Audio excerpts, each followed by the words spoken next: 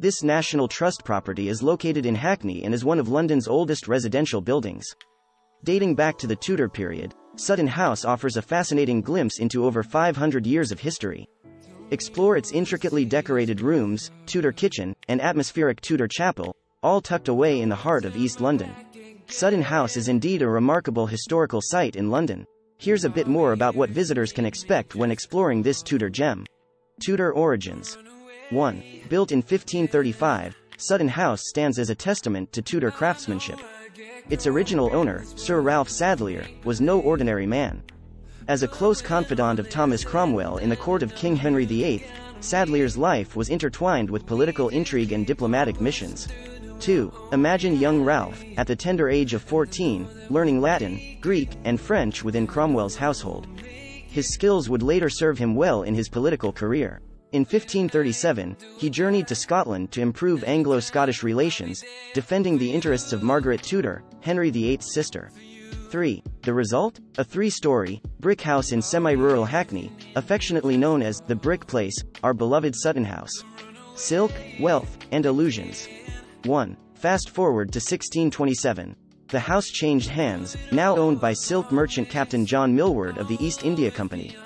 Millward's brother, Humphrey, was among the founders of this prestigious company. 2. Captain Millward dealt in silks with Iran, amassing wealth. His opulent lifestyle filled Sutton House with imported furnishings and silks. The pièce de résistance? A painted trompe-l'œil staircase, an optical illusion meant to dazzle guests. 3. But Silk's fortunes waned, and Millward had to mortgage the house. Yet, the echoes of his prosperity remain etched in Sutton House's walls. A house divided. 1.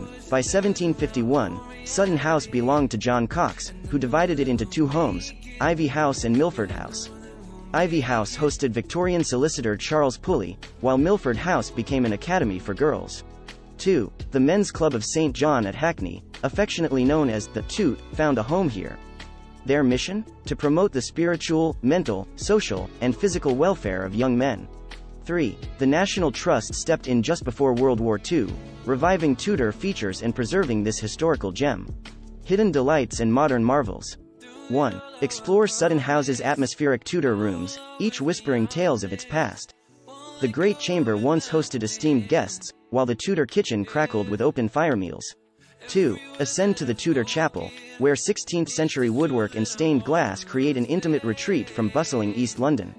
3. And don't miss the vibrant events and exhibitions, historical reenactments, art installations, and more, that breathe life into this hidden treasure. So, dear visitor, step across the threshold of Sutton House.